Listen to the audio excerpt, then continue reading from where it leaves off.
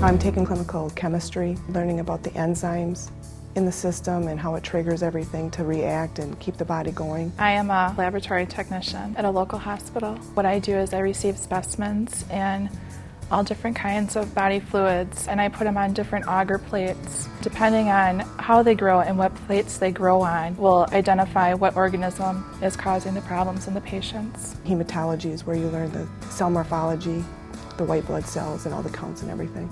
Mostly it's done on analyzers, but when there is something that's out of range of what's normal, then you would need to make a slide and look at that under a scope to double check what the analyzer sees and then also make your own judgment calls about what the red blood cells look like. I like to learn and everything's new for me, so I've been really enjoying everything.